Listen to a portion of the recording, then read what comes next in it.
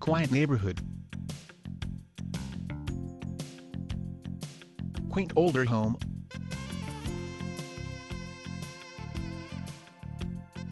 Three bedrooms, one bath.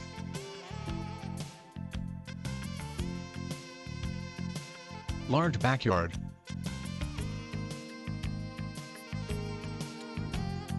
Convenient to schools.